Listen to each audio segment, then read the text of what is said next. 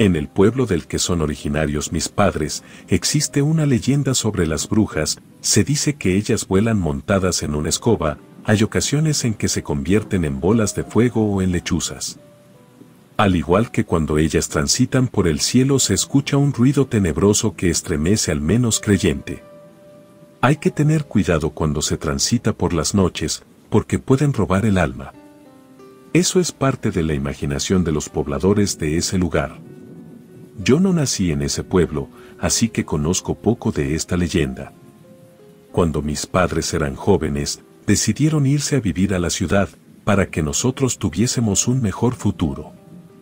Eso no impidió que nos reuniéramos con frecuencia al lado de nuestros familiares en el poblado. Desde que era pequeña me gustaba acercarme a escuchar las pláticas de los adultos porque de alguna manera siempre aludían a cosas extraordinarias que existen en ese lugar. Por la noche, me ponía a observar el cielo para poder ver todo lo que se decía de ellas. Sin embargo, nunca logré ver a ninguna bruja. Lo extraño era que los adultos afirmaban acontecimientos ocurridos a ellos. Por ejemplo, un día estaban reunidos varios hombres alrededor del kiosco, entre ellos se encontraba don Cleto, el cual ya se había tomado algunos mezcales y pretendía continuar con la borrachera en el barrio de la cantería. Sus amigos no querían acompañarlo, pero él insistía en que fueran a una cantina que estaba en ese lugar. Después de varios intentos, ellos lo disuadieron de que fuera, ya que era peligroso porque podía aparecérseles una lechuza. Yo me encontraba agazapada detrás de un árbol frondoso que estaba muy cerca de ellos.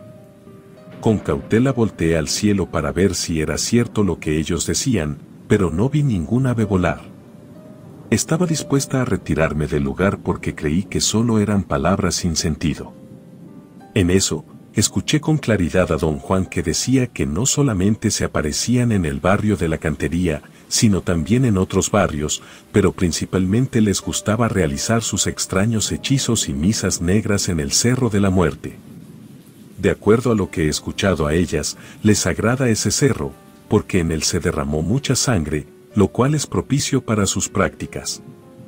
Don Cleto continuó con su charla, él dijo que cuando ellas se convierten en lechuzas se posan sobre los árboles para estar al acecho de las personas que pasen por ese lugar. Cuando un incauto camina por ese rumbo, ellas se dejan ir sobre el rostro de las personas y con sus fuertes uñas así como su filoso pico, les arrancan los ojos y la lengua. Ya no quise quedarme por más tiempo a escuchar a don Cleto hablar sobre todas las aberraciones que hacían ellas, no puedo negar que por mi edad y la forma en que don Cleto aseguraba su existencia, si me dio mucho miedo, preferí alejarme y tratar de no creer en todo lo que escuchaba.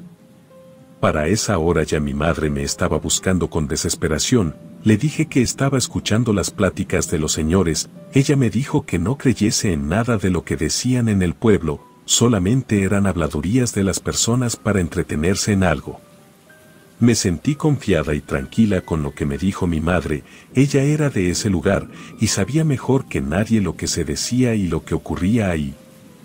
Con el tiempo, poco a poco se fueron espaciando las visitas al lugar de origen de mis padres, por ocupaciones que cada quien tenía. Un día una llamada por teléfono nos avisó de la muerte de mi abuelo paterno. Nos preparamos para acudir al funeral, creo que ya había pasado mucho tiempo después de aquella reunión de niños. Ahora los primos nos habíamos convertido en jóvenes. Después de que concluyeron las exequias pudimos juntarnos y platicar como lo hacíamos cuando éramos pequeños. No todos nos fuimos del pueblo, hubo parientes y amigas que se quedaron en ese lugar. Me dio mucho gusto reencontrarme con personas que estimo y que hace tanto tiempo que no los veía, entre ellas estaba Adela, una de mis mejores amigas en la infancia. Cuando ella me vio pensé que le daría el mismo gusto que a mí. Sin embargo, la vi distante y poco afectuosa. Ella trataba de evadirme a toda costa.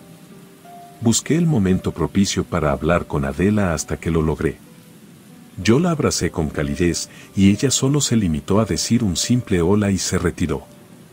Durante unos minutos, me quedé parada observando su retirada, no logré comprender en ese momento su lejanía, si de niñas fuimos cómplices de más de dos travesuras, pero también supe que su madre tenía poco tiempo que había fallecido, así que no quise insistir, en otro momento sería oportuno hablar con ella. Ocurrió en el pueblo la muerte inesperada de un joven, hijo de don Juan, supuestamente él se había ahogado en el río. Lo extraño de este acontecimiento es que él era uno de los mejores nadadores, siempre que nos íbamos a bañar al río, él nos animaba a adentrarnos en la parte más profunda del mismo. La mayoría le argumentábamos que no sabíamos nadar, en cambio él se daba el lujo de hacer todo tipo de piruetas sin tener ningún percance. Asistimos al funeral de Mario, ahí logramos coincidir varios de los que fuimos compañeros de juego, también se encontraba Adela, la cual se quedó apartada, en un lugar en el que prefería no ser vista. Sin embargo, en esta ocasión decidí tener un acercamiento con ella. Al principio, solo se limitó a esbozar una ligera sonrisa, se disculpó y se retiró del lugar.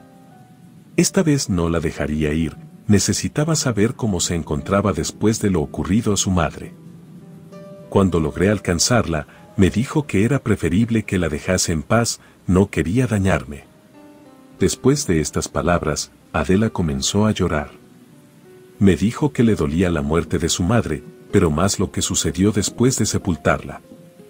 En ese momento no comprendí lo fuerte de sus palabras. Quedamos de vernos en otro lugar para poder conversar con calma. Al día siguiente nos vimos en un lugar tranquilo, ella me dijo que si la podía acompañar al cementerio, a llevar flores a la tumba de su madre. No tuve ninguna objeción en hacerlo, al contrario, me dio mucho gusto que me pidiera que la acompañase. Era el mediodía y el cementerio se encontraba un poco concurrido por la muerte de alguien más del pueblo. A lo lejos se escuchaba el llanto de los dolientes, algunos lamentos, así como el murmullo de los rezos. Conforme nos alejamos de aquella tumba, todo se escuchaba como un suave susurro doloroso.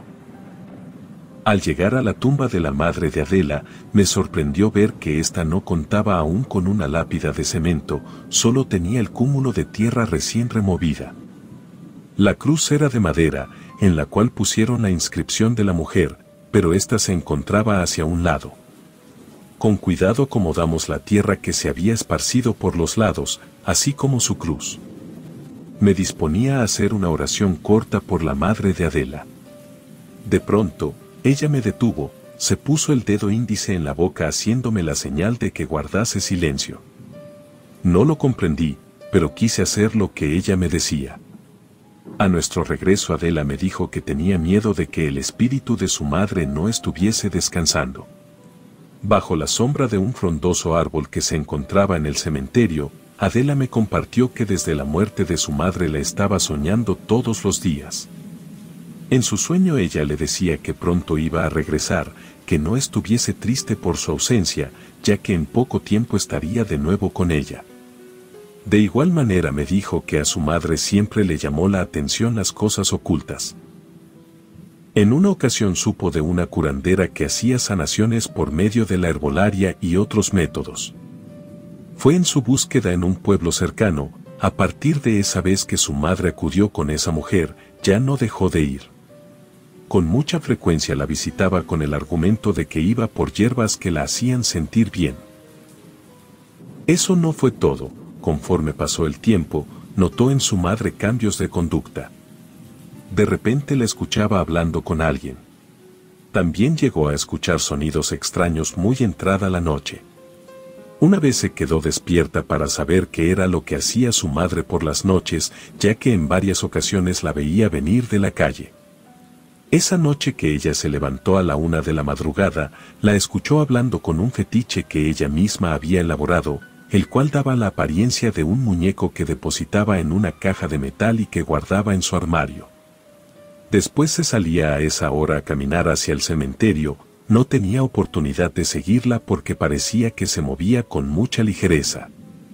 De pronto, la perdía de vista, solo alcanzaba a distinguir que se introducía al panteón, y ya no quiso seguirla porque le dio miedo. Desde que la madre de Adela conoció a aquella mujer del pueblo aledaño, su conducta cada vez fue más errática y escalofriante, porque hacía rituales extraños. Incluso, la llegó a escuchar que hablaba en un idioma que no comprendía. Un día su salud comenzó a deteriorarse, hasta que cayó en cama, el médico del pueblo decía que no comprendía el motivo de su enfermedad. Ya le había mandado hacer varios estudios. Con certidumbre no podía establecer un patrón de enfermedad, le dio vitaminas, sueros, medicamentos que pudiesen mejorar su decaimiento, pero nada funcionó. Un día amaneció muerta, con el mismo color traslúcido que tuvo Mario. Durante su funeral ocurrieron cosas extrañas, hubo un momento en que todos los cirios se apagaron sin ninguna razón aparente, alguien los prendió de nuevo, pero fueron unos instantes en que la sala, en la que se velaba a su madre, se quedó a oscuras por completo, y ahora, cada vez que iba a su tumba se encontraba como si alguien la hubiese removido.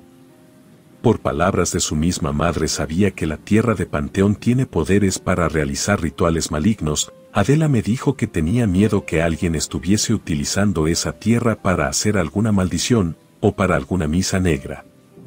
Nos regresamos a nuestras casas en silencio, yo no sabía qué pensar respecto a todo lo que me dijo Adela, sabía que era cierto, pero no entendía cómo sucedía todo alrededor de ella.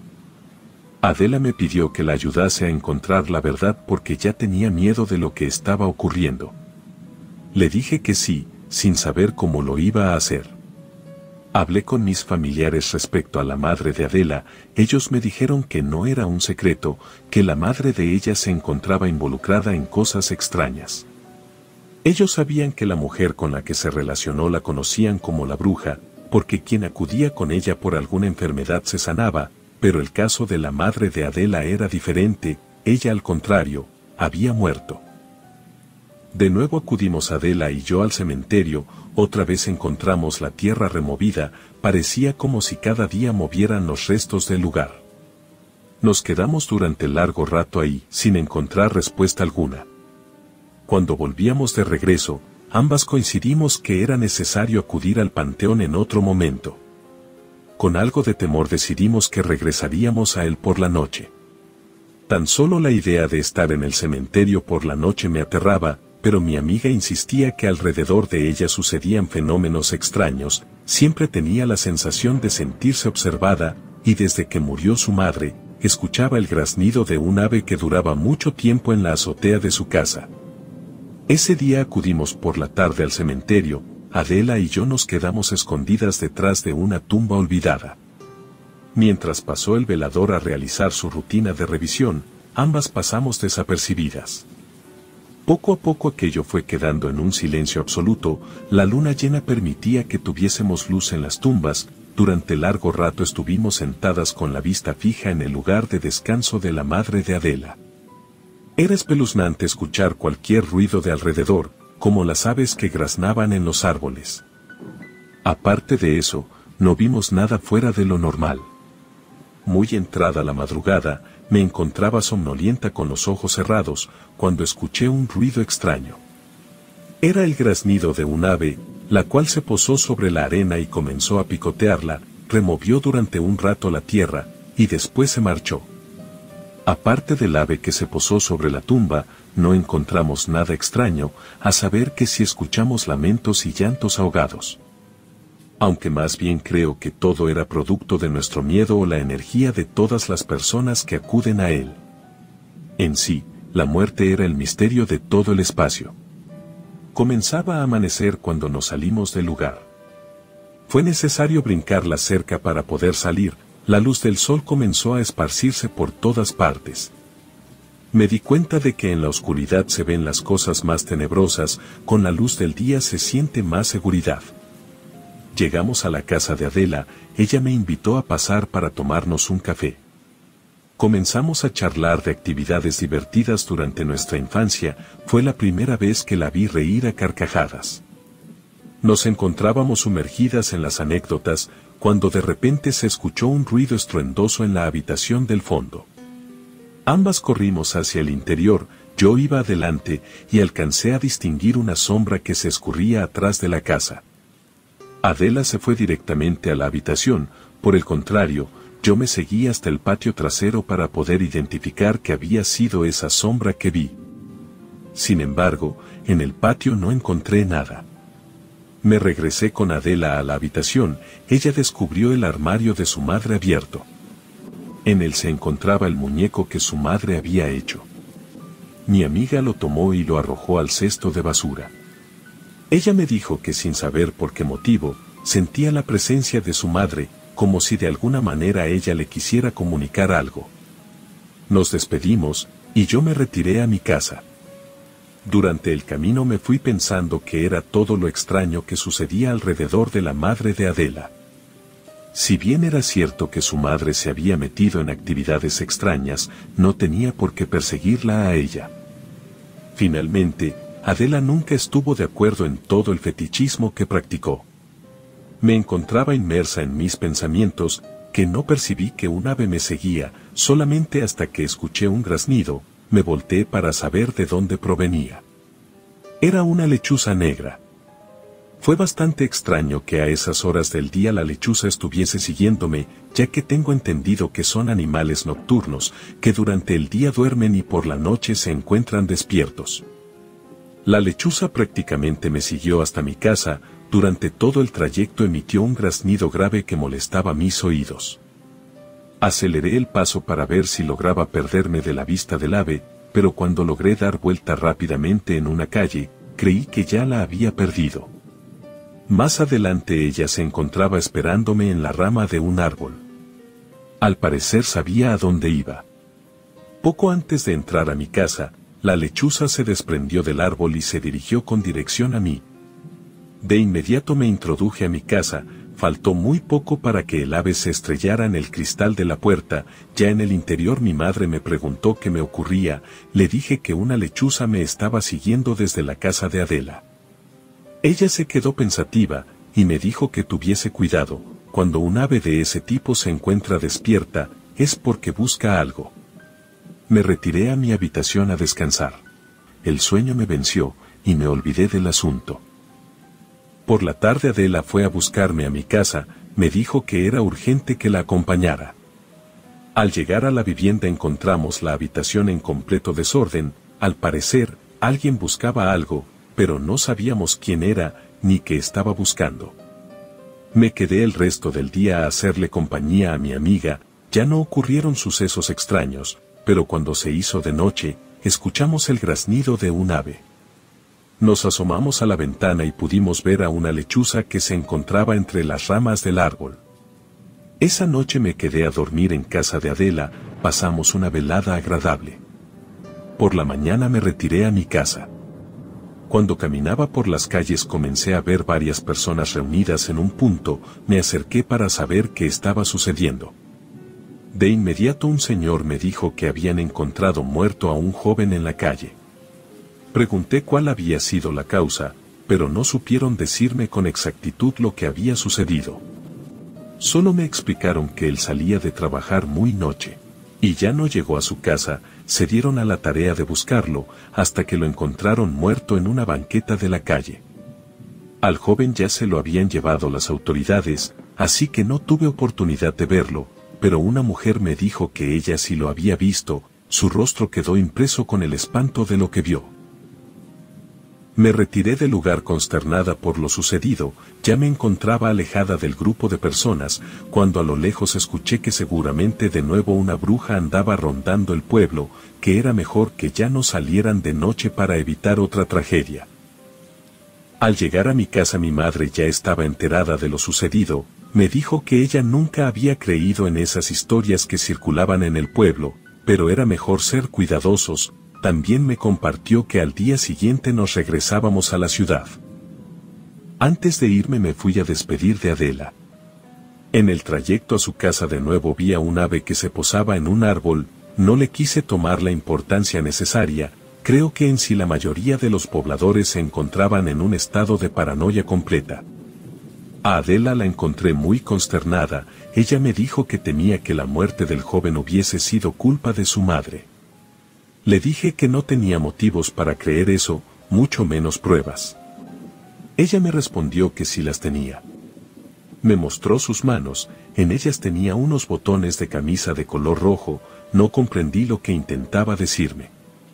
Me dijo que los había encontrado al exterior de la casa, en la banca de su jardín, y sabía que el uniforme de trabajo de la empresa cercana es de color rojo. Ya no quise decirle ninguna palabra a Adela, solo la abracé y me despedí de ella, me regresé a casa. El ave continuó siguiéndome hasta que entré a la vivienda. Me fui del pueblo dudando de la veracidad de los hechos, los pobladores, al igual que Adela, afirmaban que todo era producto de una bruja, pero yo nunca pude ver ninguna.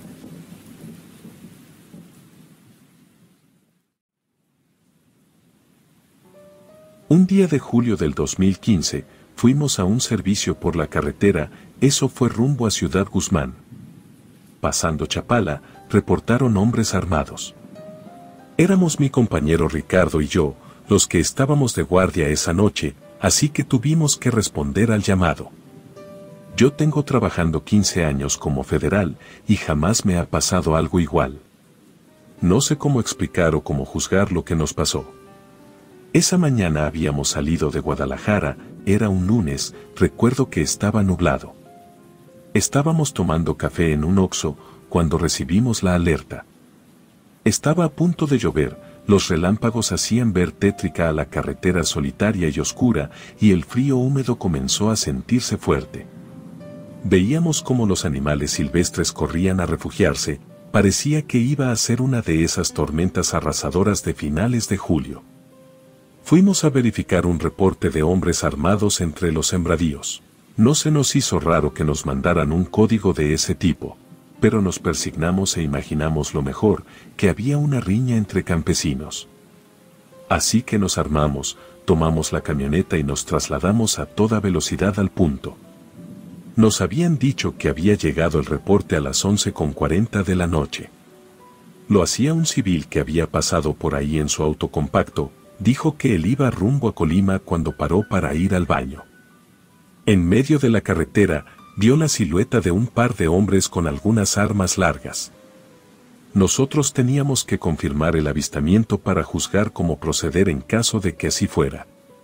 Yo recuerdo lo que vivimos esa noche como una pesadilla o una alucinación, pero si no fuera porque iba con mi compañero y quedó una grabación de audio, jamás había pensado que fuera real.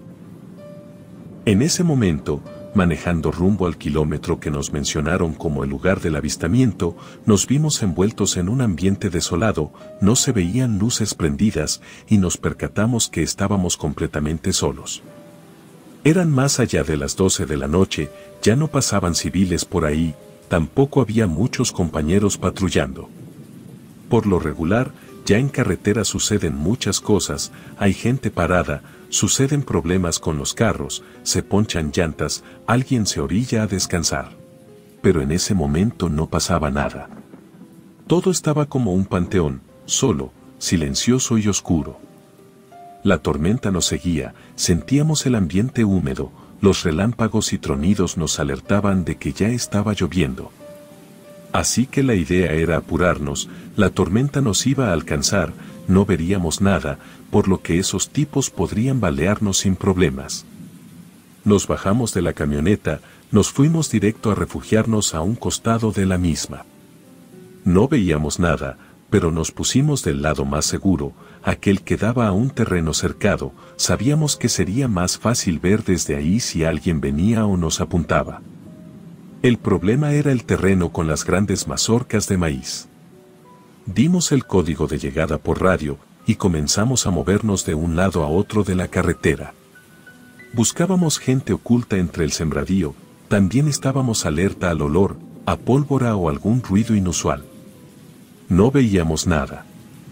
Saltamos la cerca, caminamos unos metros, siempre pegados a lugares donde pudiéramos escondernos. Buscábamos lo mejor que podíamos con la poca luz que teníamos, ya que entre las linternas y las luces de la camioneta no podríamos alumbrar por completo los lugares sospechosos. Así pasamos los primeros minutos con la adrenalina de estar buscando a los sospechosos, pero todo quedó en nada. No encontrábamos ningún tipo de huellas.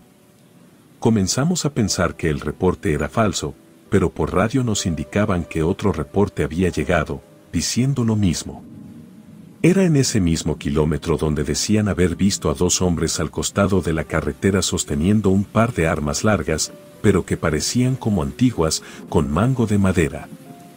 También nos informaron que las características eran las de dos jóvenes, entre los 15 y 20 años, vestidos de forma ligera con playeras blancas y pantalones cafés. Muy alertas volvimos a movernos por la carretera, dimos algunas vueltas para concluir que tendríamos que meternos al sembradío, era el único lugar en donde no habíamos buscado bien. Lo único que nos detenía era el permiso para proceder, pues ese terreno estaba completamente sembrado, y si había un enfrentamiento en él, podríamos perjudicar patrimonio civil. Necesitábamos luz verde para continuar. En lo que esperábamos el permiso, nos sentamos dentro de la camioneta a descansar un poco antes de cualquier cosa. Ricardo le mandó un mensaje a su esposa, le decía que estábamos en un servicio de rutina, pero había algo raro que no le daba buena espina, y por eso le mandaba un mensaje de buenas noches con unas palabras para los niños. Yo lo regañé, siquiera sabía si realmente estábamos a punto de entrar en una trampa, pero ahí andaba mortificando a su esposa. Yo no dije ni hice nada como eso, solo me prendí un cigarro, me lo fumé con tanto placer y tranquilidad, que si me hubiera muerto ese día, hubiera quedado completamente en paz. En cada fumada ponía mi vida, luego le subí al radio porque se estaba escuchando como si hubiera interferencia.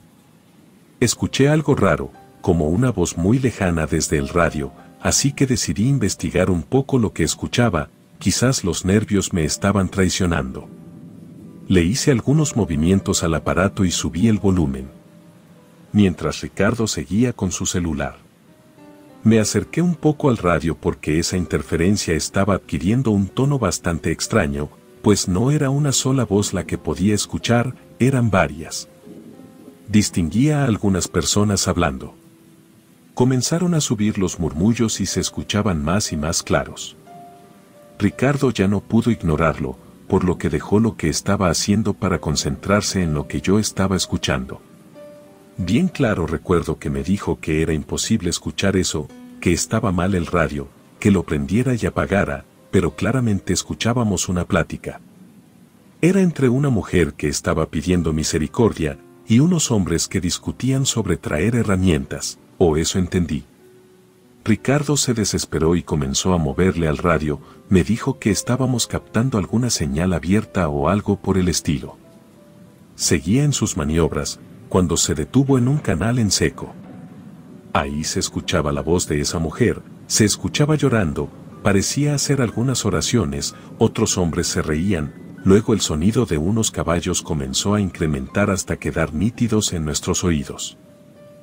Era un montón de gente la que se escuchaba, todos parecían hablar, gritar, correr, dar órdenes. Yo caí en cuenta que ya había escuchado algo parecido antes, era igual a los sonidos a algún operativo de cateo o persecución. Ricardo se persignó, me dijo que eso venía de otro mundo porque no había nada así por ahí cerca, ya lo hubiéramos escuchado o visto, me dijo. Todo estaba oscuro, solo podíamos ver la carretera vacía con lo que llegaba a dar de luz por los faros. De ahí en más no distinguíamos nada, los animales habían corrido desde hace mucho tiempo a refugiarse porque seguía el clima de tormenta, pero no comenzaba a llover donde estábamos. Yo estaba pensando seriamente que había tomado mucho café, o me había afectado el operativo de la tarde, porque no daba crédito a lo que seguían escuchando mis oídos. En cambio, Ricardo estaba convencido de que eso eran almas en pena, de que nos habíamos topado con algo inexplicable donde podíamos escuchar a las ánimas luchando por su vida. Así que asustado, pero fascinado por todo eso, puso su celular cerca de la bocina del radio y comenzó a grabar. Quise preguntarle qué demonios estaba haciendo, pero me calló. Puso su dedo índice derecho en sus labios. Él estaba haciendo esa grabación como prueba de lo que nos estaba pasando, pero yo seguía pensando que no era la gran cosa. Solo me recargué en el asiento. No dije más. Después de unos cuatro o cinco minutos paró de grabar y se dirigió hacia mí. Me preguntó por qué no se acababan esos sonidos, porque seguían si ya había pasado mucho tiempo. Era antinatural su duración, por lo regular cuando suceden esas cosas, como persecuciones o riñas entre carteles, todo se acaba rápido, un balazo o dos y ya. Tampoco nos contactaban para darnos la orden de entrar al sembradío, y vimos como las gotas de lluvia comenzaron a mojar el parabrisas. Ahora sí estábamos jodidos, con la lluvia las cosas se iban a complicar más. A pesar de que dije eso, la lluvia no arreciaba, se mantenía delgada y alejada, casi como una brisa. Pero lo que se incrementaba era el sonido fantasmal de esas voces a través del radio. No sé cómo explicarlo bien, era una estática profunda, se distorsionaban los sonidos mayormente, pero entre ese ruido distinguíamos la voz de gente llorando. Primero era una mujer, luego algunos hombres, también fugazmente divisábamos una risa, luego algunos relinchidos de caballos, como si estuvieran corriendo o asustados. También había unos sonidos metálicos muy extraños, no era normal, ese crujir de algo como pisadas, golpes o cosas rompiéndose. Estábamos muy confundidos escuchando, además de intrigados, así que nos fuimos pegando poco a poco al radio para escuchar mejor. Brincamos de nuestros asientos cuando súbitamente llegaron a nuestros oídos detonaciones. Estaban disparándonos, o eso pensamos. De inmediato nos agachamos, hurgamos en las cercanías desde las ventanas, pero no vimos nada. Nos salimos de la camioneta, comenzamos a indagar agachados, teníamos que encontrar quien nos disparaba. Por la adrenalina, no nos dimos cuenta cuando dejaron de escucharse aquellos sonidos extraños en la radio, y comenzamos a escuchar el llamado del enlace. Nos preguntaban si seguíamos ahí. Ya no escuchamos más disparos, Ricardo se lanzó dentro de la camioneta a contestar al llamado. Nos dijeron que ya estaban temiendo lo peor porque teníamos más de una hora sin contestar. Nos miramos incrédulos, nosotros no habíamos sentido que pasaran más de 10 o 20 minutos, en lo que comenzamos a esperar la respuesta, y escuchamos los ruidos desde la estática del radio. Yo tomé la radio para avisar que íbamos a proceder a responder al fuego porque nos estaban disparando, pero ya no hubo respuesta de confirmación a la petición de refuerzos. Estábamos revisando la radio, cuando una segunda ráfaga nos inundó los oídos, pero estuvo acompañada de un retumbar que no supimos si fue del cielo o de alguna arma más grande. Tras el sonido quedamos aturdidos por todo, no sabíamos de dónde venían los disparos o los crujidos que se incrementaban. Sin pensarlo nos pusimos en la defensa, pegados espalda con espalda. Esperando lo peor, apuntábamos a la nada con nuestras armas. También apuntábamos con las linternas de un lado a otro buscando señales de vida, pero la oscuridad era demasiado profunda, la tormenta tapaba por completo la luna y las pequeñas gotas de agua nos estaban tapando el panorama. Yo estaba calmándome para formar una estrategia de ofensiva, cuando le dije a Ricardo que seguro no era a nosotros el ataque. Yo no veía impactos de bala cerca o en la camioneta, parecía que el conflicto era a los alrededores. Ahí fue cuando Ricardo me paró en seco mis especulaciones, me dijo que dónde diablos estaban pasando esas cosas, pues no olíamos nada de pólvora o de algún material inflamable. Nosotros sabíamos que, desatada una balacera, llegaba consigo el aroma inconfundible de las armas de fuego. Me quedé perplejo, era verdad. ¿Cómo se escuchaban tan cerca los balazos, pero no veíamos ni olíamos nada? Además, vimos súbitamente como con sonido de detonación se alcanza a ver una ligera luz por el fuego, a lo lejos, pero no había signos de nada. Seguíamos tragados por la oscuridad a mitad de la carretera. En todo ese rato no había pasado ni un alma, tampoco vimos animales, pero ni siquiera podíamos ver moscos a través de nuestras luces o las de los faros de la camioneta. Eso ya estaba muy extraño. Ricardo dio un disparo, a mí me sorprendió la detonación, y le grité preguntando qué estaba haciendo. Me dijo que una sombra atravesó la carretera, se había movido del predio vacío al maizal de forma tan rápida que no pudo ver claramente cómo era.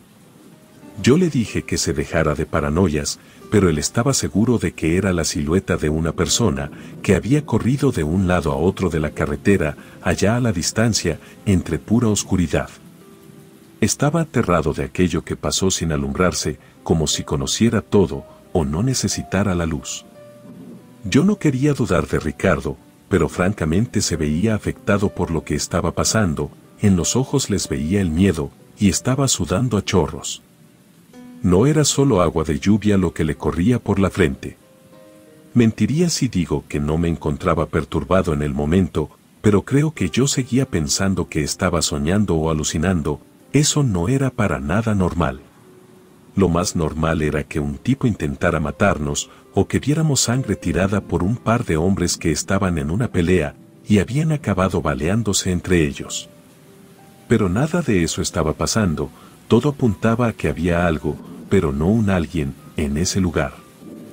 Recuerdo que me froté los dedos porque se me estaban entumiendo, el ambiente estaba particularmente frío, pero era un frío tan intenso que podría jurar era invierno, y no pleno verano. Estábamos acomodándonos los trajes tácticos, habíamos tomado varias armas para proceder a buscar a la cosa que se había movido allá afuera. Cuando alcanzamos a escuchar desde la radio el grito de un hombre que decía mátenlos. Quedamos petrificados por un segundo, pero ya envalentonados por aquellas palabras de alerta, no tenía dudas. Estaba seguro de que alguien nos estaba tendiendo una trampa y de casualidad habíamos intervenido su línea de comunicación. Así que tomé el radio en un movimiento rápido, di el código para proceder con el enfrentamiento para abatir a los hostiles. Ya no me importaba nada, si me escuchaban o no, yo no me iba a morir ese día e iba a sacar vivo a Ricardo de ahí, aunque sea a rastras. Se lo debía a su esposa, no iba a dejar que este idiota se dejara llevar por sus supersticiones y termináramos como quesos al final de la noche. Le indiqué rápido que me siguiera, cortamos los alambres de púas, luego nos dejamos caer hacia abajo, en el sembradío de maíz. Teníamos que peinar la zona, los más calmados y precavidos que pudiéramos, pero como solo éramos dos, todo se complicaba. Así que en cuestión de segundos, en una mirada, acordamos que yo iría por la derecha y él por la izquierda, era todo lo que podíamos hacer. La lluvia comenzó a arreciar, sentíamos cómo nos caían las gotas hasta en los ojos, pero comenzamos a avanzar lentamente por entre los surcos. Apenas podíamos distinguir lo que estábamos pisando, era tierra, pero se veía inusualmente negra, parecía sangre, pero no lo confirmamos. Sentí que si llegaba a mí cualquier golpe o herida, iba a ser inevitable, estábamos en la peor posición y no estábamos seguros de que fuéramos a salir bien librados de esa. La tormenta arreciaba y sentíamos como el lodo se comenzaba a pegar a nuestras botas, haciéndolas más pesadas. Caminábamos en la misma dirección, de reojo nos mirábamos para asegurarnos que estábamos bien, no se veía nada, pero comencé a ver que había alguien que caminaba o corría entre las mazorcas, entre los surcos de tierra. No sabía qué era, pero imaginé que sería un hombre que nos estaba midiendo para acercarnos.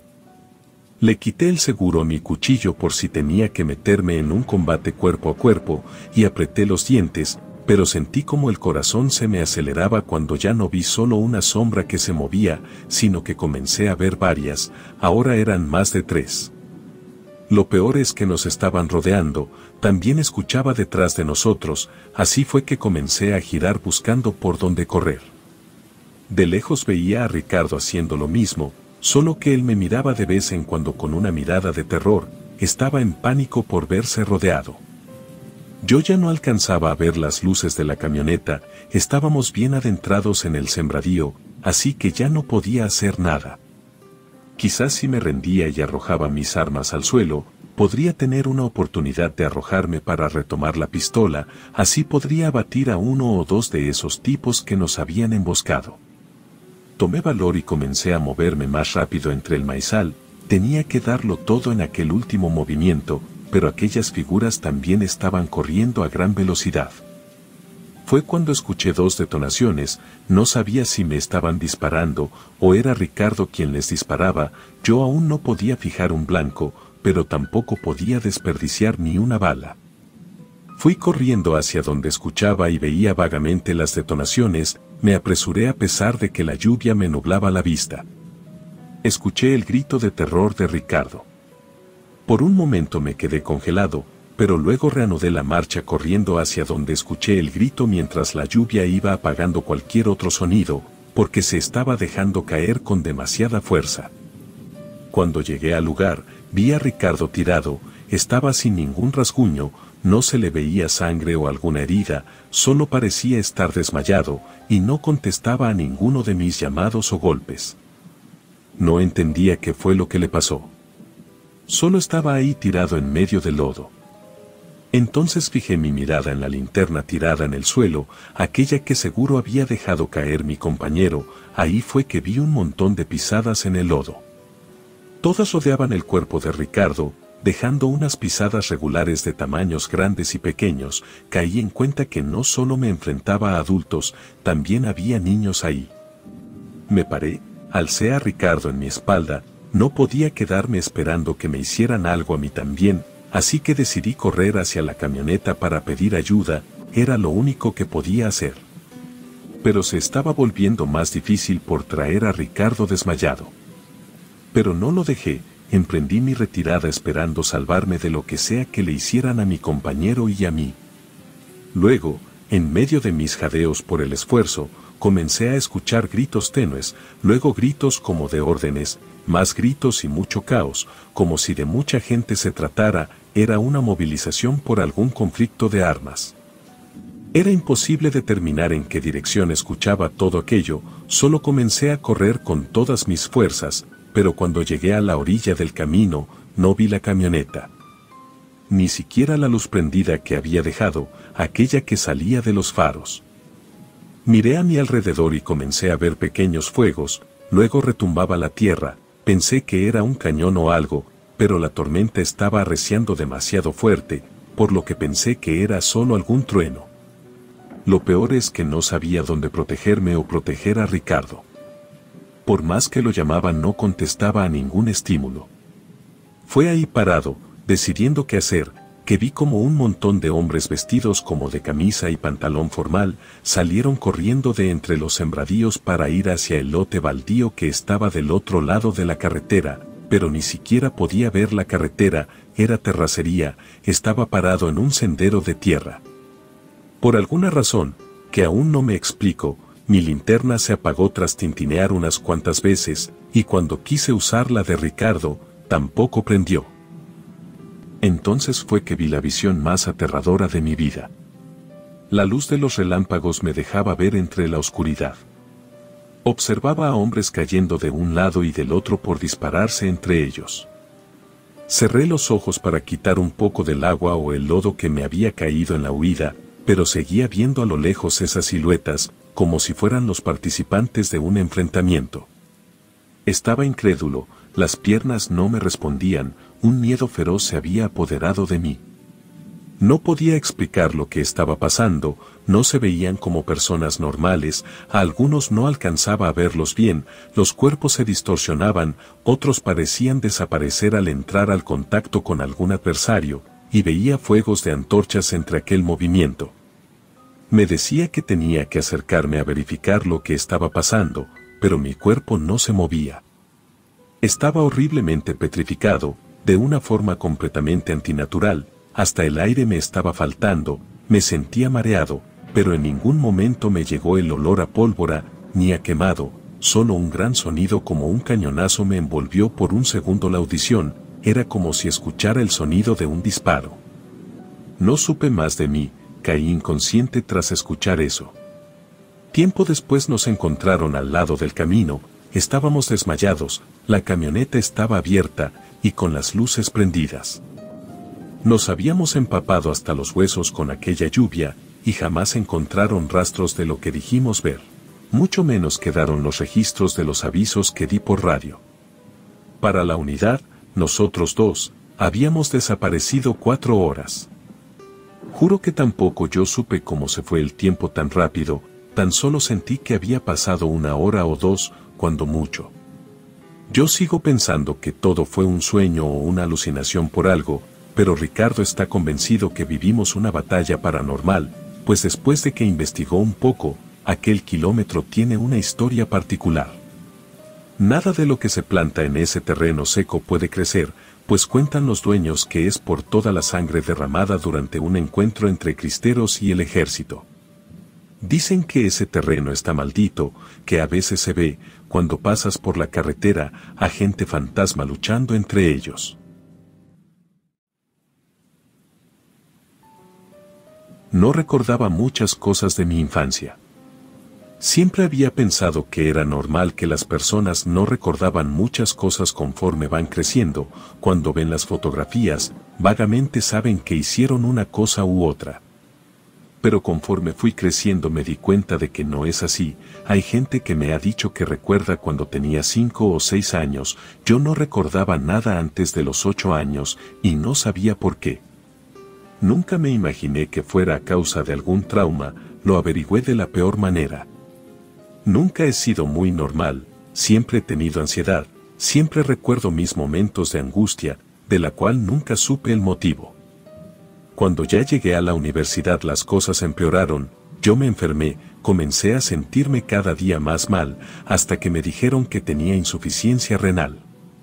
A estas alturas me parece increíble aquella tarde que pasé junto a Nati, mi amiga de la universidad, la que me ha ayudado mucho hasta hoy, a la que agradezco se involucrara para intentar salvarme de aquella bestia sobrenatural que me reclama. Juntos en una tarde de una sesión de péndulo, vimos el fantasma de mi abuela María, y hasta la fecha, creo que estábamos drogados o locos, lo que sí creo, es que mi abuela se transformó, o era una especie de entidad oscura. Un día, platicando con mis amigos de la escuela, terminé muy dolido, me puse a llorar porque era demasiado lo que estaba pasando en mi vida. Todos estaban pasmados, no sabían qué decirme o cómo ayudarme, comenzaron las clases y cada uno se fue a su salón, pero Nati se quedó a mi lado. Me consolaba, me decía que todo iba a estar bien, que si yo quería, ella podría ayudarme. Ya estando desesperado accedí, sin pensar nada más. No tenía la menor idea de qué era lo que ella podía hacer para ayudarme. Estábamos estudiando ingeniería, éramos de la misma edad y ella trabajaba en un restaurante de mesera por la tarde. Imposible pudiera ayudarme, o eso pensaba, ya que ella no era doctora o terapeuta o algo así. Nos despedimos de todos los demás y me dijo que íbamos para su casa, que avisara en mi casa para que no se preocuparan porque me iba a quedar a dormir con ella. Su propuesta se me hizo rara, hasta pensé si quería hacer algo conmigo, por así decirlo, aparte de hablar. Pero yo solo me dejé conducir, total, lo que pasara no me iba a desagradar. Llegamos a su casa, dejó sus cosas en su recámara, me dijo que como era martes no teníamos que preocuparnos por la hora, que no iba a trabajar ese día. Ella vivía en una casona vieja adaptada para que hubiera muchos cuartos individuales, que eran como pequeños departamentos para estudiantes. Estaba sobre la avenida Juárez, justo en el corazón de la ciudad. Era un lugar pequeño, pero bien iluminado, ventilado, agradable a la vista. Todo estaba en su lugar, la ropa, los zapatos, sus libros, era admirable como tenía todo muy limpio, era muy armonioso, todo en colores claros. Me gustó mucho el gran espejo redondo que tenía decorando el lugar de la sala, también se veía cómodo el montón de cojines que servían como asientos alrededor de una mesa baja. Me ofreció agua, también me preguntó si quería algo de comer, pero yo no quería nada. Me sentía muy estresado, a la expectativa, aunque también estaba destrozado, tenía años sin llorar así. Ya me estaba arrepintiendo de hacerlo frente a mi grupo de amigos y en la escuela. Sabrá quién me vio así de mal ese día. Estaba calmándome para poder hilar conversación, ya que en todo el trayecto a su casa no cruzamos palabra, cuando Nati me preguntó si creía en cosas paranormales. Le dije que no creía en nada de eso y ella me dijo que era normal. Después se sentó a mi lado, me tocó el hombro y me dijo, yo puedo ayudarte con lo que traes pegado, tienes una entidad que te está drenando la vida. Inmediatamente me espanté. ¿De qué estaba hablando? Pero yo la conocía bien, teníamos dos años tomando clases juntos en la facultad, ella nunca dio indicios de ser mentirosa. Ella me pidió que confiara, que intentáramos hacer una terapia de péndulo y que, si en algún momento me sentía incómodo o mal, podíamos parar, ver una película o divertirnos, olvidaríamos la situación paranormal. Lo que pretendía era ayudarme o al menos dejarme pasar un buen rato para olvidarme un poco de todo lo que me estaba pasando. Accedí a hacer lo del péndulo, no esperaba que funcionara, para mí las cosas de energías o paranormales eran cuentos de gente que no conocía cómo funcionaba la física. Más incrédulo que otra cosa, me dejé conducir en aquello, me dejé llevar por las instrucciones de mi compañera. Nati quitó todo lo que pudiera estorbar, unas macetitas que tenía y el tapete de su gata, luego nos acomodamos lado al lado mirando hacia la pequeña mesa, estábamos sentados en el suelo. Sacó un pañuelo rojo, en ellos podía ver unos símbolos, como un pentagrama, una pirámide y un ojo. Lo colocó al centro de la mesa, sacó un péndulo de una bolsita de terciopelo morado, lo anudó a su dedo índice, luego me dio las indicaciones para comenzar. Me dijo que me pusiera cómodo, sentado, recostado como me sintiera mejor, pero que colocara mi mano izquierda sobre su mano derecha, que sostenía el péndulo sobre el pañuelo rojo. Tras eso me pidió que cerrara los ojos y concentrara mi energía, que tenía que pensar en agua o luz que fluía desde mi mano hasta su mano, hasta llegar al péndulo, que así nos íbamos a quedar unos minutos hasta que el péndulo estuviera cargado de energía para poder comenzar a preguntar. Increíblemente, pude visualizar lo que me estaba pidiendo, imaginaba la luz pasando por mis dedos, por su mano, y finalmente veía en mi imaginación la concentración en el péndulo, pero también lo sentía brillar. Era una sensación muy rara, como de adrenalina, aunque también sentía el miedo de lo que podría pasar. De pronto escuché crujir algo y abrir los ojos, Nati me dijo que no me desconcentrara, pero vi cómo estaba quebrada una de las macetas que adornaban su sala. Le reclamé que dejara de asustarme, pero ella me dijo que no pensara en eso, que ya era momento de comenzar a preguntar. Tragué saliva cuando escuché como decía una especie de oración esotérica, hablaba de vientos, de protecciones universales y no sé qué más. Así comenzó la primera pregunta. ¿Podemos conocer los secretos en la mente de Julio? Sentí pánico al escuchar mi nombre. El péndulo comenzó a moverse en círculos y Nati me dijo que eso era una respuesta positiva, que cuando viera que oscilara de un lado a otro la piedra era una respuesta negativa, que si dejaba de moverse era algo que no tenía que conocer, pero que si seguía el movimiento en círculos, siempre era una respuesta afirmativa. Estaba incrédulo, pero el péndulo comenzó a moverse solo, jamás sentí que el brazo de ella se moviera de forma que pudiera ser ella misma la que fingía estas respuestas. Hice algunas preguntas de las que solamente yo conocía la respuesta, cosas como si era en realidad negro el color de cabello de mi madre o si el nombre de mi perro era Pepi. Sorprendentemente, todo era correcto, y yo sentía un hormigueo que me recorría todo el cuerpo. Después Nati tomó el rumbo de las preguntas y preguntó si la enfermedad de mí era sobrenatural. El péndulo dijo que sí, y la luz de techo comenzó a tintinear como si se bajara la energía, yo me encogía por una fuerza que no entendía, ni respaldaba, estaba pesando poco a poco más. Ella me dio una mirada de terror, pero no me dijo nada, y yo tampoco le estaba diciendo que me sentía pesado. Luego preguntó si eso tenía que ver con una deuda de familia. Nuevamente el péndulo contestó que sí, ella me dijo que estaba bien claro que había un familiar que venía a reclamarme, como una vida, por algo que se prometió. Yo dije que ya le estaba subiendo la locura a la cabeza, eso no existía, pero como no estaba convencido ella siguió preguntando. Confirmaba esa teoría, para esto yo ya estaba poniendo mucha presión en la mano de ella, y terminé por estrellar su mano contra la mesa. Le dije que no había sido adrede, que estaba sintiendo la mano muy pesada. Ella me dijo que le dijera la verdad, que no solo era mi cuerpo el pesado, que era la espalda la que estaba pesada. Me sentí descubierto, no sabía cómo ella veía eso. Mientras se sobaba la mano por el golpe, comenzó a acomodar de nuevo todo, Se fue a buscar unas cosas a un cajón de la cocina, y regresó con unas velas, un encendedor y varios vasos de agua. Me dijo, ahorita vamos a saber quién es la persona que tienes adherida a ti. En eso el viento comenzó a chiflar por la ventana, entraba furioso, hacia un ruido muy raro, pero ella permaneció sin inmutarse, me dijo que no le pusiera atención. Acomodó de sus nuevos utensilios en la mesa y me puso la mano sobre el pentagrama del pañuelo, me pidió que mi dedo medio se alineara con la punta de la estrella. Entonces vimos claramente como una de las velas que estaba prendiendo Nati se apagaba y se apagaba. Ella siguió hasta que se encendió, pero inmediatamente se cayó, rodó hasta llegar a la orilla de la mesa, yo sentía que la sangre se me bajaba a las rodillas. Eso no era normal, pero para convencerme de que solo era una coincidencia, traté de tomar la vela con la otra mano para regresarla a su lugar, pero fue cuando terminó por caer de la mesa y se fue rodando hasta la puerta. Comencé a hiperventilar por la impresión.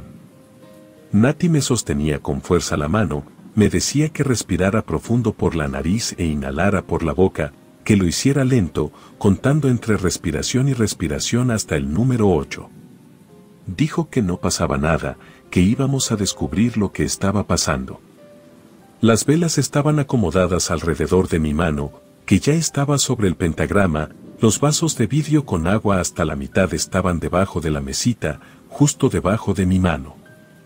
Ella comenzó a pedir cosas, a hacer de nuevo oraciones a cosas naturales como el agua, el fuego y demás.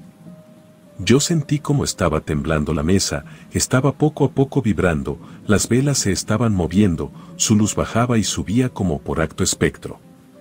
Mi terror comenzó a hacerse evidente, sentía que el corazón se me iba a salir, incluso se salieron una o dos lágrimas. Nati estaba muy concentrada haciendo la petición, y cerró sus rezos ordenando a lo que sea que estuviera conmigo, que se revelara, que dijera su nombre. Yo le dije que no, que no hiciera eso, que no quería ver lo que sea que fuera. Pero ella me indicó que era demasiado tarde. Entonces me veía fijamente, esperando algo. Se fue la luz del lugar, así que solo nos quedó la iluminación de las velas y con ellas la revelación más terrible que haya tenido en mi vida, el rostro de mi abuela nos miraba desde el reflejo del espejo, ella estaba sentada al lado mío sonriendo. Pero al girarme a buscarla ella no estaba ahí. Solo el espejo me dejaba verla. Entonces le revelé a Nati que ella era la mamá de mi papá, mi abuela María. Lo que te está matando, es tu abuela, me dijo muy segura. Cuando pronunció esas palabras, muy claro, como si lo estuviera viviendo, vi un recuerdo. Después sentí que la pesadez que me embargaba me venció la espalda, me fui de lleno hacia atrás mientras cerraba los ojos. Así vi que yo tendría unos seis o siete años, estaba en el departamento donde vivían con mis papás.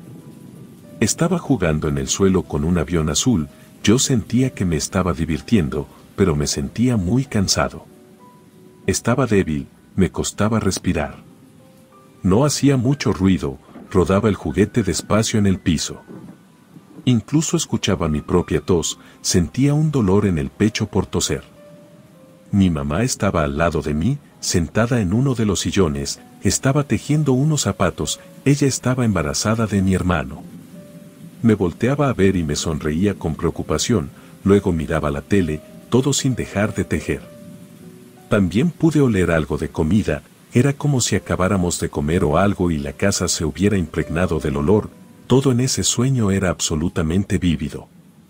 Yo veía todo muy grande, los sillones, la mesa, sus sillas, también el librero donde estaba la tele, así como el mueble donde guardábamos los trastes limpios. Sentía la garganta muy seca, me sentía mareado, mi mamá dejó de lado el tejido, y se agachó a tocarme la cabeza, me preguntó si quería vomitar de nuevo o porque me había quedado inmóvil. Yo le iba a contestar cuando parpadeé, y vi una sombra detrás de ella. Me hice hacia atrás, y mi mamá me vio con pena. Me quedé congelado, no dije nada, luego me puse a jugar de nuevo, estaba concentrado en no levantar la mirada, pero no fue posible. Comencé a sentir un frío muy fuerte en la espalda, me estaba levantando los vellos del cuerpo. Me toqué la nuca espantando lo que sea que estuviera ahí. Así que ya no pude ni negarlo ni resistirme, tenía que voltear a asegurarme que esa sombra ya no estuviera ahí. Miré a mi madre viendo la televisión, solté un suspiro, no estaba con ella esa sombra, y luego instintivamente me volteé a ver al pasillo del fondo, el que conectaba con las recámaras y el cuarto, algo estaba ahí. Estaba inusualmente oscuro para ser esa hora del día, la luz no lo tocaba. Yo seguía rodando el juguete por inercia, pero observaba fijamente aquella oscuridad. Mi cuerpo se envolvía en un frío horroroso, después miré cómo la oscuridad parecía aumentar en el pasillo. Desde el fondo comenzaba a abarcar, centímetro a centímetro, cada espacio de las paredes, el suelo y el techo. Se incrementaba, venía hacia mí. Cerré los ojos, arrojé lo que tenía en las manos al pasillo, mi avión azul. Al abrir los ojos la oscuridad seguía ahí, no retrocedió nada. Comencé a llorar y mi mamá me regañó por estar arrojando cosas de nuevo, me dijo que ella no podía estarse agachando mucho, que fuera por él, pero yo no quería. Luego suspiró profundamente y se dejó caer por completo en la comodidad del sofá. ¿Qué vamos a hacer contigo, Bruno? me dijo. ¿No le quieres decir a mamá qué es lo que tienes? me preguntó angustiada. Yo no dije nada, ni sabía a qué se refería. Con cara muy angustiada, continuó hablándome. Hijo, sé que te sientes mal, pero ¿no quieres platicarme porque amaneciste en el tinaco del vecino? ¿Alguien te llevó ahí? ¿Te dijeron otros niños que fueras ahí? Yo estaba muy sorprendido, no recordaba nada de lo que me estaba diciendo ella. Vamos, me dijo, háblame, yo sé que no ha sido lo mismo sin la abuela, pero ya te he platicado antes de eso. Abuelita se tuvo que ir al cielo, ella no pudo despedirse, Diosito le dijo que tenía que irse ya, y ella se tuvo que ir. Yo no entendía bien lo que pasaba, pero recordaba ese hecho. El día de mi cumpleaños número 5 estuve con la vecina, ahí me cuidaron, luego llegó mi mamá con mi papá a decirme que mi abuela iba a hacer un viaje, que no iba a regresar. Solo recuerdo vagamente eso, no supe si lloré o dije algo, o si pasó algo más. En mi mente solo estaba la idea de que estaba triste por no tener mi pastel de cumpleaños, luego se abrió la puerta y ahí estaban mis papás diciéndome que no volvería mi abuela. Así que con este nítido recuerdo, yo ya estaba atando cabos. Venían como pequeños fragmentos de memoria. Mi abuela había muerto en mi cumpleaños, yo estaba muy triste, pero luego mi abuela regresó. Al yo entrar a mi casa, una mañana tras terminar las clases, llegué y ella estaba en la casa, como si nada. La veía parada frente a la estufa, como siempre, también al lado de la lavadora o entre las jaulas de los canarios. Yo platicaba con ella, ella no hacía nada, solo estaba parada y me veía, sonreía. Mi mamá se ponía a temblar cuando me veía a la orilla de la cama hablando con ella. Mi papá me daba una nalgada cuando le decía que estaba sentada en una silla. Nadie me creyó, pero yo veía a mi abuela, con el tiempo ya no la vi tan nítida, iba desapareciendo hasta que solo logré ver su sombra, luego solo era una plasta negra oscura que me miraba todo el tiempo. Estaba recordando eso, mientras mi mamá me seguía hablando, pero sin decir absolutamente nada me paré y me fui a la cocina. Tomé un vaso, me serví agua y vi como mi mamá se agachó entre sus codos pensativos, seguro que estaba preocupada. Tomaba agua despacio, luego volteé a ver al techo y vi muchas moscas, todas moviéndose raro, golpeándose entre ellas, pegándose al techo. Entonces desde la orilla, pegada a una ventana que iluminaba la cocina, comencé a ver de nuevo la oscuridad. Una oscuridad como una mancha que se expandía poco a poco por la pared. Yo sabía que esa oscuridad me estaba siguiendo a mí, que era mi abuela. De nuevo tuve la sensación de miedo, ese frío que se apoderaba de los vellos de mi espalda. La sombra era muy profunda, era muy negra, extrañamente negra, las moscas comenzaron a rodearla, luego vi cómo salía poco a poco algo de entre esa oscuridad. Era algo pequeño. salió centímetro a centímetro hasta que cayó con un sonido hueco al suelo, justo enfrente de donde estaba yo. Tomé el objeto con miedo, no sabía si era real lo que estaba pasando. Pero al tocar ese prendedor para cabello, estaba convencido de que era de verdad, lo estaba acariciando y revisando, cuando mi mamá apareció detrás de mí. Tomó el prendedor con fuerza de mis manos. Su cara fue de un terror absoluto al reconocerlo, y me preguntó gritando que de dónde había sacado el prendedor de mi abuela. Comenzó a llorar, me agarraba ambas manos, me preguntaba una y otra vez de dónde había estado sacando cosas de la abuela.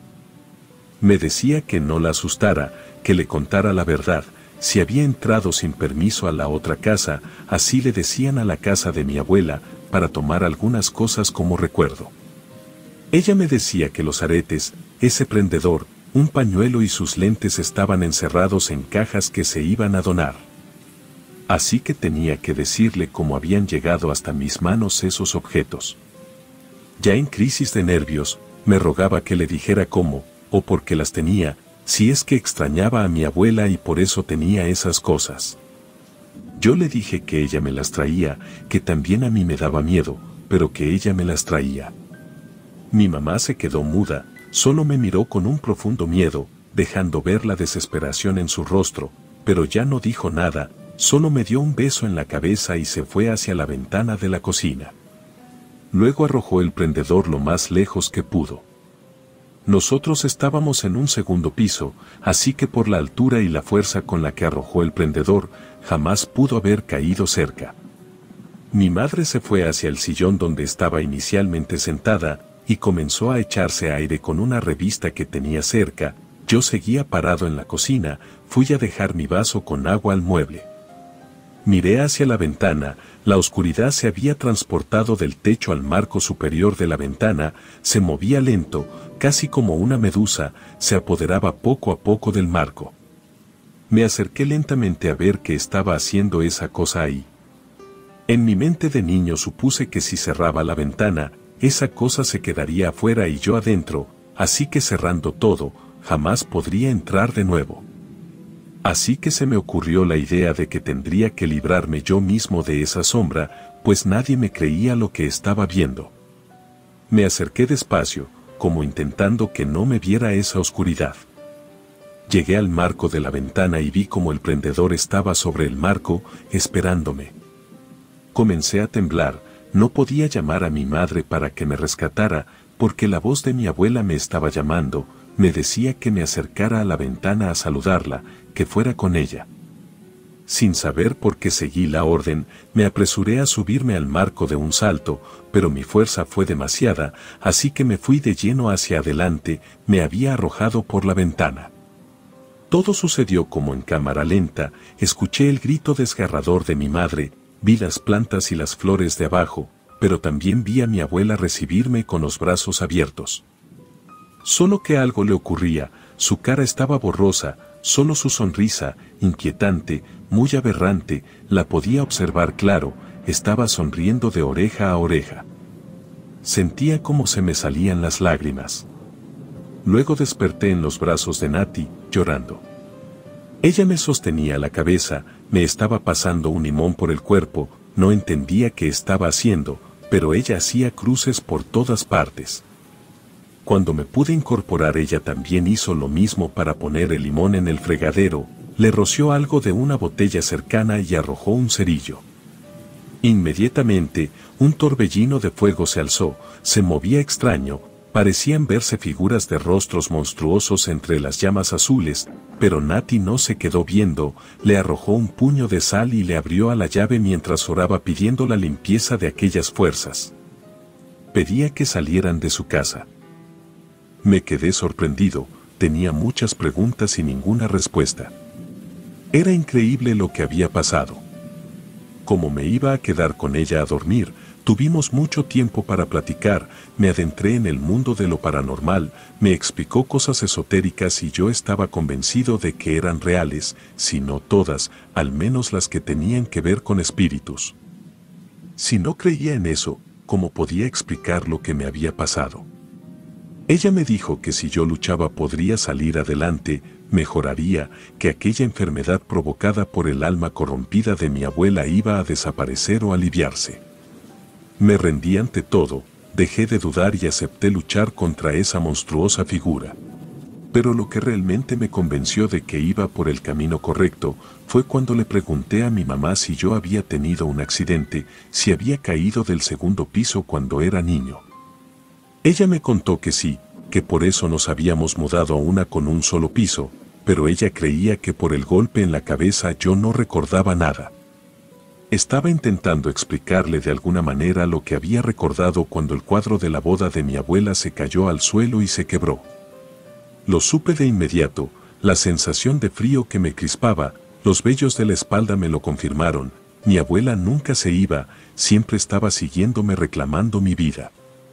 Cualquiera que pase por una situación como la mía no me dejará mentir, es una lucha de muchos años, el deshacerse de un espíritu oscuro como el que me persigue, hasta la fecha he podido alejarlo, pero sigo luchando, a veces logro ver esa oscuridad, yo espero con los años ganar esta batalla contra ese mal.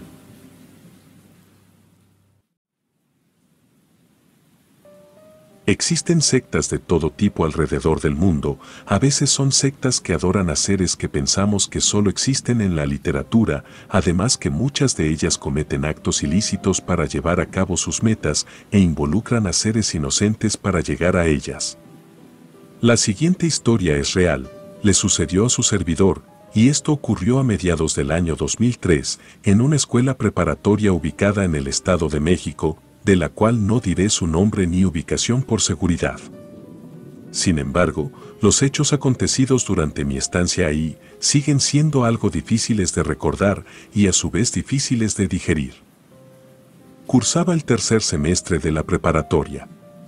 Unos meses después de haber empezado el semestre llegó un nuevo compañero a la clase, el profesor que se encontraba en ese momento nos lo presentó, su nombre era Miguel, a todos nos pareció una persona normal, solamente nos pareció rara la edad que él tenía, pues tenía 18 años y todos los demás teníamos entre 15 y 16. Algunos compañeros y yo decidimos acercarnos para saber más de él y además para que comenzara a juntarse con nuestro grupo de amigos. Pero Miguel era callado, cuando nosotros le hacíamos alguna pregunta, él solamente respondía lo necesario. Al pasar algunas semanas, nos dimos cuenta de que académicamente era mejor que nosotros, en todas las materias siempre tenía como calificación un 10, además que contestaba preguntas difíciles en materias como física, cálculo y electrónica, que fue la carrera técnica que ejercíamos en ese momento. Al principio lo atribuíamos a que era dos años más grande que nosotros, y además que ya había cursado en otra preparatoria, por lo cual pensamos que debido a esa experiencia tenía buenas calificaciones, pues suponíamos que ya había tomado estas clases anteriormente. Después de un tiempo, notamos que académicamente subió de nivel considerablemente, pues ciertas veces hacía algunas correcciones a los profesores. Sin embargo, suponíamos que todo era porque solo pasaba el día estudiando y no se divertía. Por lo tanto, se nos hizo hasta cierto punto normal. Así pasó el tiempo y para finalizar el tercer semestre, el profesor de electrónica nos pidió realizar un proyecto en parejas. Casualmente ese día dos de mis amigos con quienes me llevaba muy bien y con los que siempre trabajaba, no asistieron, solo quedaba disponible Miguel, pues todos los demás no querían trabajar con él, así que fue mi única opción. Entonces me acerqué a él, nos pusimos de acuerdo acerca del proyecto y nos dispusimos a trabajar. Terminó la clase que era la última del día, pero no pudimos concluir la primera fase del proyecto, el cual consistía de tres. Miguel, sin preocupación, me comentó que se llevaría el proyecto a su casa y que lo terminaría, además que lo llevaría también en físico completamente armado. Sin creerle, me di media vuelta y le dije que nos veíamos mañana. Él solamente asintió con la cabeza.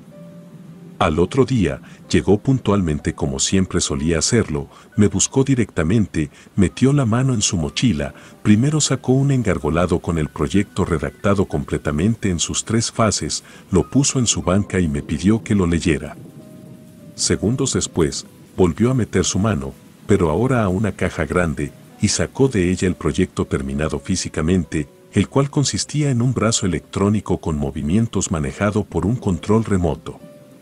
Quedé impactado, pues no pensé que lo fuera a terminar, y sinceramente creí que lo había comprado, el trabajo era impecable y muy superior a los de los demás compañeros. Entonces en ese momento le pregunté en forma de broma que cómo le hacía si tenía pacto con el diablo.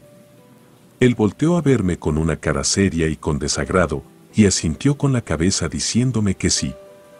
Cuando esto sucedió pensé que bromeaba, pero por la forma en que me veía, me di cuenta de que no era así. Ese día me quedé pensando en su respuesta. Pasaron algunos días y llegué como siempre a la escuela muy temprano a las 6.30 de la mañana, pues la hora de entrada era a las 7. Como siempre llegó Miguel 10 minutos después de mí, me sonrió y se colocó a un lado mío, preguntó cómo estaba, y yo le respondí que todo estaba bien. Para romper el hielo, me comentó que había notado que me gustaba la música oscura y también el heavy metal, a lo que yo comenté que así era, se acercó un poco más a mí y me comentó que él también escuchaba música oscura, en su caso, gótica. Y que debido a eso quería compartir algo de música conmigo, pero además me dijo que me contaría un secreto, y que si lo deseaba podría ser parte de lo que escucharía. Me estremecí un poco porque fue intrigante lo que me dijo, no sabía si me hablaría de cómo hacer un pacto con el diablo o de algo que tuviera que ver con la escuela. Entonces comenzó a contarme que él era parte de un grupo de gente que veneraba a un dios muy poderoso llamado Dagón, el dios pez. Volté a verlo y con una risa un poco sarcástica, le pregunté que si esa no era una historia del famoso escritor H.P. Lovecraft. Pues yo era y sigo siendo fan de ese escritor, y había leído cada una de sus historias por lo menos un par de veces. Él asintió con su cabeza como siempre lo hacía, y dijo que sí. Por lo tanto, yo le respondí que entonces lo que me contaría seguramente sería una farsa, pues todo era solamente literatura.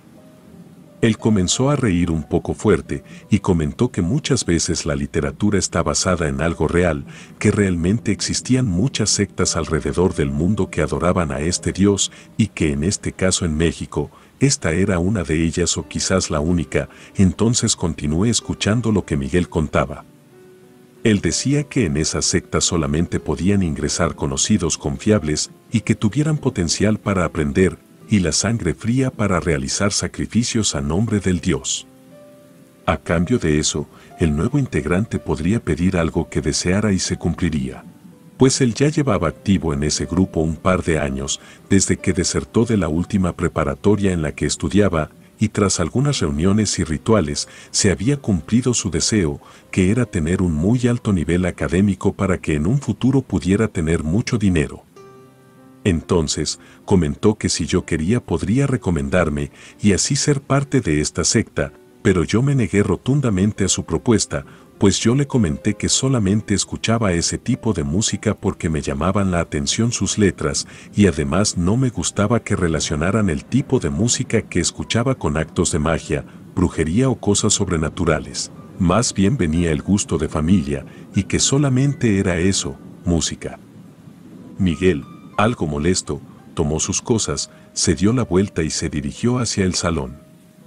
Ese día todo transcurrió normal, como si nada hubiera pasado realmente, el comportamiento de Miguel era como siempre, callado, introvertido y sin ninguna preocupación. Nos acercamos con el profesor de electrónica, pues nos diría nuestra calificación, obviamente la calificación de Miguel fue de 10 y la mía también, yo sabía perfectamente que mi calificación dependía del trabajo que había realizado Miguel, además que él también le comentó al maestro que yo había contribuido al 50% de ese proyecto, aunque realmente no había sido cierto. Él lo había realizado casi por completo en su casa, pero sabía que Miguel lo había dicho porque de alguna forma buscaba convencerme de que formara parte de la secta en la que estaba. Día con día Miguel iba siendo cada vez mejor en la escuela, ganaba concursos, sacaba 10 en todas las materias, obtenía trofeos en los deportes, premios al mejor alumno de la escuela, premios al mejor comportamiento y sobre todo nos dábamos cuenta de que por su propia cuenta adquiría más conocimiento acerca de los temas de las materias.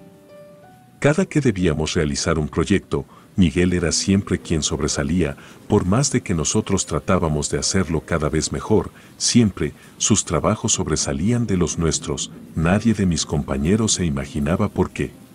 Simplemente poco a poco empezaron a rechazarlo, ya no querían encontrarse con él, ya no querían hablarle, pues todos pensaban que quería presumir sus conocimientos y que se burlaba de nosotros por no ser como él, aunque realmente no era así, más bien, escondía un secreto que no podía divulgar abiertamente.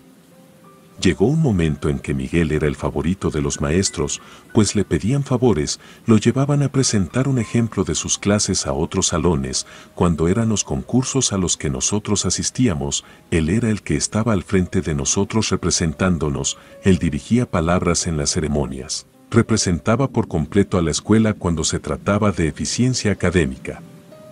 Así corrieron unos meses más, pasamos a cuarto semestre, lo continuamos hasta terminarlo, pero un día antes de tener nuestro receso semestral, terminando nuestra jornada a las 2 de la tarde, salimos de la preparatoria y nos dirigimos a un billar en donde pasábamos el tiempo después de la escuela, para celebrar que habíamos concluido el cuarto semestre e íbamos a comenzar a cursar el quinto.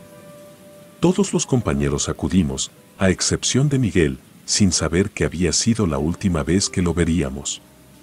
Pasamos un par de horas y cada quien se fue a su casa. Al terminar el periodo intersemestral, regresamos a la escuela.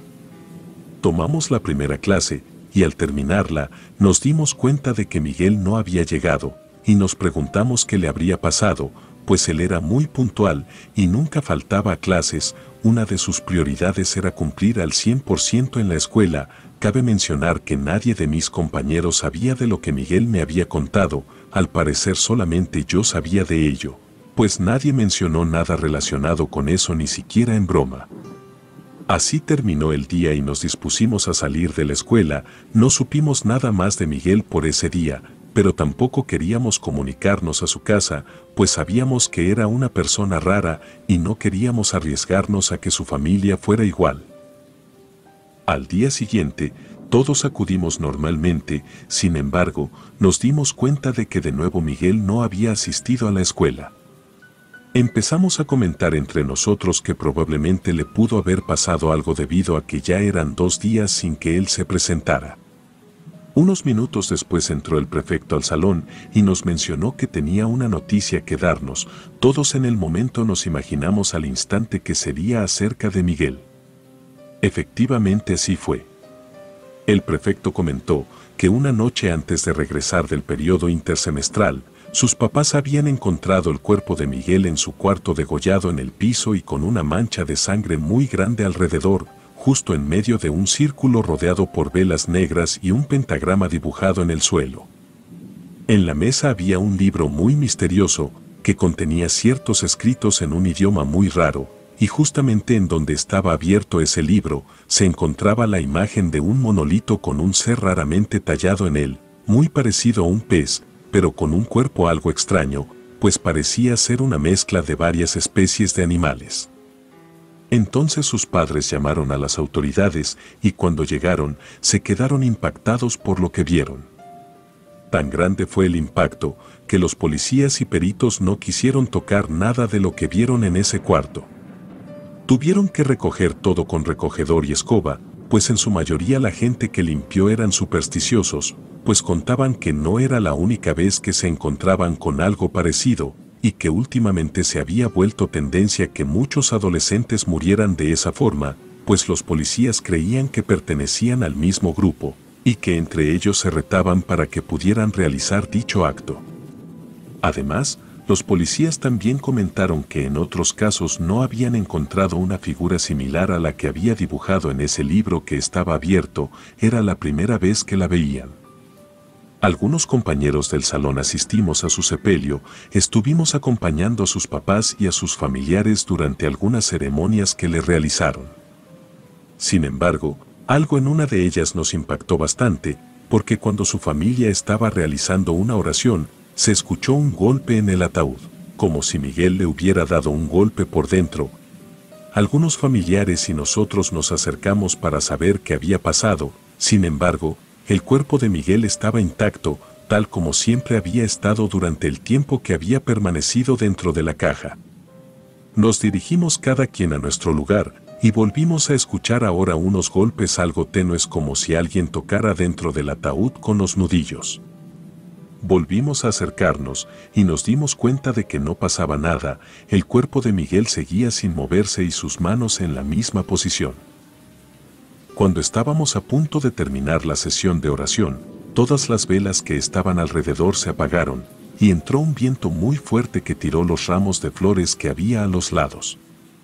Las ventanas cercanas se azotaron y las puertas se cerraron fuertemente. La mamá de Miguel comenzó a llorar más fuerte y sus familiares la trataron de tranquilizar, pues ella pensaba que de alguna forma Miguel quería comunicarse con ellos, sin embargo, yo lo atribuía al ritual que había hecho Miguel antes de morir, y que los seres o espectros que había invocado en ese momento no lo iban a dejar descansar en paz y estaban reclamando su alma. Un pensamiento algo extremo para el momento que estábamos pasando, pero que para mí era lo más adecuado debido a lo que Miguel me había contado. Por fin después de unas horas más, llevaron el ataúd de Miguel al cementerio para enterrarlo, Cabe señalar que yo fui uno de los voluntarios para cargarlo y al tratar de meterlo a la fosa, nos dimos cuenta quienes lo cargábamos, que la caja se ponía cada vez más pesada al ir bajándola, como si de alguna forma Miguel nos quisiera decir que no quería entrar ahí. Pero después de algo de esfuerzo extra, logramos poner el ataúd en su lugar. Antes de terminar de taparlo por completo, se soltó una fuerte lluvia que impidió que nos pudiéramos mover del lugar hasta después de aproximadamente 10 minutos que bajó el caudal y pudimos correr cada quien fuera del cementerio para tomar el transporte a casa. Algunos días después, los padres de Miguel asistieron a la escuela para realizar el proceso de baja, un compañero y yo, por curiosidad de saber más de la muerte de Miguel, acudimos con ellos y preguntamos cómo iba la situación, pues sabíamos que era un golpe muy fuerte para ellos. Los padres nos comentaron que no sabían por qué había sucedido todo eso con Miguel, pues era un excelente chico, que quería su familia, que era muy responsable y además que había dejado algunos vicios atrás para dedicarse solamente al estudio. Mi compañero les dio la razón a los padres y asintió a todo lo que comentaron, pero yo sabía que también Miguel ocultaba algo, algo macabro y además turbio, que no todo lo que sus padres pensaban era correcto, y que por algo era una eminencia en la escuela. En algún momento de la plática quise revelarles toda la verdad, pues creía que ya era suficiente lo que había pasado durante el sepelio y su funeral, para que sus padres se dieran cuenta de que los acontecimientos no eran normales. Pero para mí era traicionar la memoria de Miguel, y además también creí que si hablaba podría tener consecuencias graves ocasionadas por la secta y la verdad no quería terminar como él. El simple hecho de pensarlo hacía que no tuviera ganas de decir nada. Por lo tanto, sus padres nunca se enteraron de lo que Miguel me contó. Un semestre después, salimos de la preparatoria, nos graduamos con un proyecto similar al que entregamos en semestres pasados, pero ahora sin Miguel. Cada que realizábamos un trabajo o proyecto grande en la materia de electrónica, lo recordábamos y platicábamos acerca de los proyectos impecables que él realizaba y también que algunos le pagábamos porque nos hiciera nuestro proyecto y lo impactante que era cuando los terminaba todos en tan solo unos días sin fallas. Así nos graduamos, y en dicha ceremonia, el director mencionó a Miguel por su honorable desempeño y representación de la escuela en el tiempo que asistió a ella. Nunca supimos más de la familia de Miguel, tampoco supimos si después se enteraron de la verdad. De lo único que nos enteramos por rumores, de un compañero que vivía muy cerca de la casa de los papás de Miguel, y que después de algunos años se mudó a otra ciudad, fue que al visitar la casa donde él vivía, se dio cuenta de que la casa de los papás de Miguel estaba abandonada, pero lo extraño es que en la parte trasera de esta, justo en el patio, tenía pintados algunos símbolos extraños, los cuales supuso que eran de adoración a alguna deidad malévola o que tenían que ver con el satanismo. No quiso saber más de eso y simplemente abandonó el lugar. En algunos momentos, llegué a pensar que todo lo que sucedió con Miguel realmente fue algo meramente montado o inventado, llegué a pensar también que la historia de la secta había sido creada por él, debido a que era fanático del escritor H.P. Lovecraft como yo. Pero descarté la posibilidad al recordar la habilidad que tenía para aprender cosas y lo rápido que se volvía una eminencia en ciertas materias. Además, al recordarlo más a detalle, notaba que algunas veces su mirada era profunda y misteriosa, como si detrás de toda esa apariencia tímida e introvertida hubiera una persona malévola y malintencionada, y a veces cuando recuerdo lo sucedido, me siento satisfecho por haberle dicho que no a Miguel acerca de ser parte de la secta. Pero también a veces sigo pensando en si realmente lo que me contó Miguel fue real o solamente lo inventó. Aún me quedan algunas dudas, sin embargo, me da miedo pensar que la secta realmente existe y sigue recluyendo adolescentes como lo éramos él y yo en su momento, y se aprovechen de eso para beneficio propio, pues al día de hoy pienso que el motivo de la muerte de Miguel fue porque alguien de ellos se lo ordenó para hacerle creer que iba a tener algún tipo de beneficio, cuando realmente el beneficio iba a ser para la persona que le asignó esa tarea, y además porque era muy joven, y probablemente lo estaban preparando para ese momento en específico, sin que Miguel se diera cuenta. Es decir, que él fue uno de los sacrificios de los tantos que realizó la secta. Y también me produce escalofríos pensar que yo pude ser otra víctima, si hubiera aceptado la propuesta de Miguel, probablemente hubiera terminado como él. Quisiera comentar antes de terminar a todos los adolescentes y jóvenes que entran a una institución, que no se confíen de las personas que los rodean, porque nunca saben qué esconde esa persona que nos intriga, nos llama la atención o nos interesa. A veces hasta las personas que creemos que son nuestros amigos esconden actitudes o secretos que pueden involucrarnos en acciones incorrectas o hasta mortales. Es importante que piensen dos veces en aceptar las invitaciones que los compañeros hacen pues estas pueden ser solo para engancharlos y cometer actos que atenten con la vida de alguien, tal cual le sucedió a Miguel. Si mi teoría es cierta, fue víctima de una secta, aunque también se sabe que todo fue con su respectiva aceptación. Relatos Anónimos